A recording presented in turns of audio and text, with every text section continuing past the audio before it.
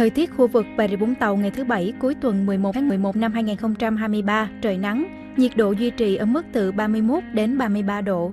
Dự báo đêm nay và ngày mai, thời tiết các khu vực trong tỉnh như sau.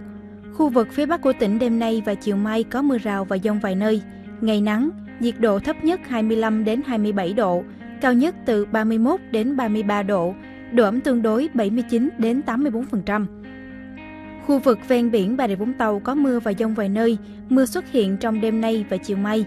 Nhiệt độ thấp nhất trong ngày từ 25 đến 27 độ, ngày nắng, mức nhiệt cao nhất dao động trong khoảng 31 đến 33 độ, độ ẩm từ 80 đến 85%. Huyện Côn Đảo nhiệt độ thấp nhất 25 đến 27 độ, ngày có lúc có mưa rào và dông. Trong cơn dông, đề phòng xét đánh và gió giật mạnh, nhiệt độ cao nhất 31 đến 33 độ, gió đông bắc đến đông cấp 2, cấp 3, độ ẩm từ 81 đến 86%. Hải Văn, vùng biển Bà Rịa Vũng Tàu có mưa và dông vài nơi, gió hướng đông bắc đến đông cấp 4, có lúc cấp 5, tầm nhìn xa từ 4 đến 10 km. Thủy triều tại Vũng Tàu ngày 12 tháng 11 năm 2023, mức nước cao nhất 378 cm vào lúc 0 giờ 30 phút và mức thấp nhất 133 cm lúc 7 giờ 30 phút. Hôm nay dù trời nắng nóng nhưng không khí toàn tỉnh vẫn trong lành, chất lượng không khí đảm bảo an toàn cho các hoạt động ngoài trời.